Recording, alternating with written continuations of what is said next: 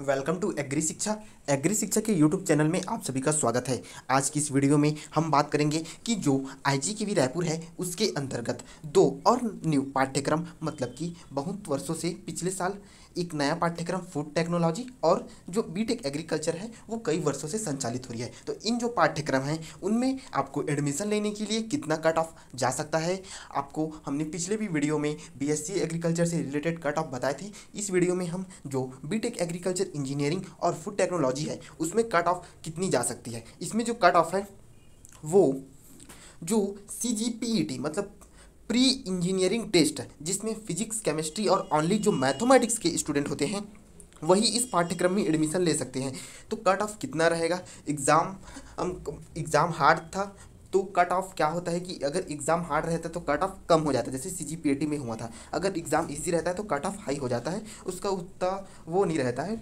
वो S T S C O B C general के हिसाब से सीट डिवाइडेड रहते हैं और कितने में आपको कॉलेज कितने रैंक में कॉलेज मिलेगा या मार्क्स में, उसके बारे में हम संपूर्ण जानकारी इस वीडियो के माध्यम से आपको देंगे। तो चलिए वीडियो को स्टार्ट करते हैं।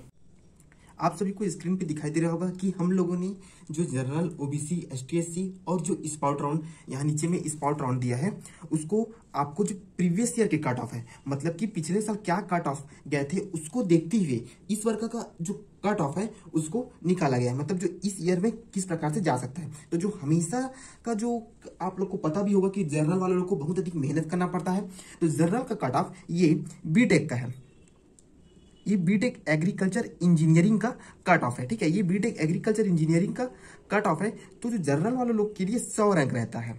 इसमें सीट भी कम, बहुत कम है। इसमें ओनली दो सीट है। मतलब कि दो कॉलेज हैं, जिसमें एक कॉलेज है एस जो रायपुर में संचालित है।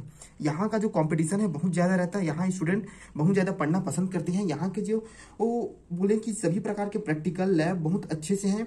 ऐसे टाइप का बोला जाता है। और जो बी आर एस एम है, ये मुंगेली में संचालित है। मुंगेली जिला में यहाँ पर कम सीट है, शायद साठ के आसपास सीट है और यहाँ सेवेंटी फाइव है। प्लस इसमें पंद्रह परसेंट आईसीआर के स्टूडेंट आते हैं। आईसीआर मतलब Indian Council of Agriculture Research के जो स्टूडेंट रहते हैं, जो एनडीए एग्ज़ाम कंडक्ट कराती है, उसके थ्रू जो मैथ्स के स्टूडेंट रहते हैं, वो इन कॉलेजों में प्रवेश करते हैं। तो जनरल का कट ऑफ़ जो मेल का रहता है, वो हंड्रेड और फीमेल का रहता है वन फिफ्टी ओबीसी में जो मेल का कट ऑफ़ रहता है, वो जाता है टू हंड्रेड और फीमेल का, ये पीईटी के रैंक के हिसाब से। पीईटी के रैंक में क्या होता है कि बहुत ज़्यादा कम ज़्यादा हो जाता है। मतलब कि कई, जैसे कि आपका रैंक वन थाउज़ेंड है। तो बीच में जितने भी स्टूडेंट हैं, हो सकता है कि ये सभी लोग इंजीनियरिंग में एडमिशन ले लिए, या कई स्टूडेंट ऐसे भी होते हैं जिन लोग बीटेक में बीटेक में एडमिशन लेने वालों की जनसंख्या बहुत कमी होती है, लेकिन कॉम्पिटिशन टफ हो जाता है, क्योंकि कॉलेज तो दो ही है। गवर्नमेंट की प्राइवेट की बात हम नहीं करेंगे। गवर्नमेंट की बात कर रहे हैं, क्योंकि जो सीटें हैं गवर्नमेंट की, वो तो लिमिटेड है ना भाई। तो लिमिटेड होने के कारण इसमें कॉम्पिटिशन बहुत ज़्यादा बढ़ जाता है। अब एसटी की बात करें तो एसटी में करीब चार सौ से छह सौ रंग तक के चला जाता है बॉयज़ का गर्ल्स का, आठ सौ तक की। एससी में भी सेम वैसे ही। चार सौ और छह सौ। सेम इसी के आसपास थोड़ा सा कम ज़्यादा हो जाता है। इसमें क्या रहता है कि प्लस दस का आगे पीछे हो जाता है।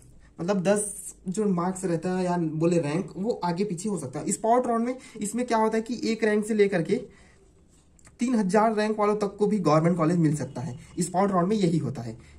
फीमेल में भी और मेल में भी। मेल में तो, तो एक से तीन हज़ार रहेगा, लेकिन फीमेल में और आगे बढ़ सकते हैं। इसमें ज़्यादा काउंसलिंग अटेंड करने वाले नहीं रहते। इसमें जो आपका जो रैंक रहता है, वो प्री इंजीनियरिंग टेस्ट के अकॉर्डिंग आपको डिवाइड रहता है, ये जी।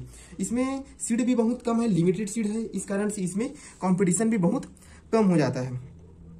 तो अगर हम बात करें अब कि जो फ़ूड टेक्नोलॉजी है बीटेक में, उसके बारे में बात करते हैं। तो जो बीटेक फ़ूड टेक्नोलॉजी है, उसके लिए बीटेक फ़ूड टेक्नोलॉजी ये जो स्टूडेंट रहते हैं मतलब कैंडिडेट जो एडमिशन लेते हैं, इसमें अक्सर करके जो फॉर्म जाता है ना, वो हज़ार फॉर्म ही फिलअप होता है। मतलब कि बीटेक के लिए हज़ार फॉर्म ही फिलअप होंगे। पिछले साल भी ऐसा हुआ था, उसके पिछले साल भी ऐसा हुआ था। ये रैंक है आपका जो पीईटी का रैंक के बारे में बता रहा हूँ, जो प्री इंजीनियरिंग टेस्ट आप देंगे, आपके जितने भी आपके मार्क्स आए रहते हैं ये जो रैंक है, लिख रहा हूँ, ये आपका पीईटी के रैंक के हिसाब से बता रहा हूँ। यहाँ आपका जो एडमिशन होगा, वो प्री इंजीनियरिंग टेस्ट के रैंक के हिसाब से एडमिशन होगा। तो बीटेक में तो फुट बहुत कम ही सीट है ओनली ट्वेंटी फाइव या ट्वेंटी फोर के आसपास ही सीट होती है। तो इसमें आप लोग बोल सकते हैं कि सभी कैटेगरी के लिए वन से लेकर के हंड्रेड तक के रैंक में, अगर मोटा मोटा तौर पे बात करें तो इतने रैंक में हो जाता है। क्योंकि ये जो पाठ्यक्रम है, इसमें एडमिशन लेने वाले बहुत कम भी रहते हैं, ज़्यादा भी हो सकते हैं, वो डिपेंड करता है। तो आपको वीडियो कैसा लगा? यदि डाउट है तो कमेंट बॉक्स पर कमेंट करें वीडियो को लाइक करें और अपने दोस्तों तक शेयर करें। Thank you